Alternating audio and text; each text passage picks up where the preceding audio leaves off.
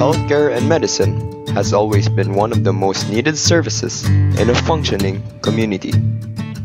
When speaking of healthcare in Cebu, hospitals such as Chonghua and Cebu doctors usually come to mind as the forerunners.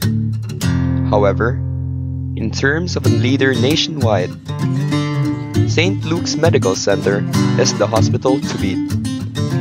It is a private non-profit healthcare institution with two hospitals located in Quezon City and Bonifacio Global City. It is said to be the leading and most respected and recognized healthcare institution in the Philippines. Humble beginnings.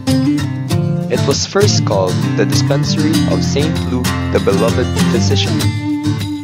The institution was started by retired Reverend Charles Henry Brent of the Episcopal Missions. It started off as a free clinic that wanted to give healthcare to simply those who couldn't afford it. The hospital at present. St. Luke's Medical Center's vision is that it will be an internationally recognized academic medical center by 2020. Its mission?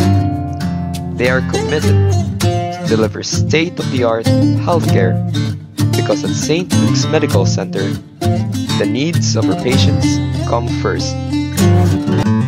The hospital holds values such as integrity and professionalism, patient centered care, innovation, passion for excellence, synergy, and social responsibility.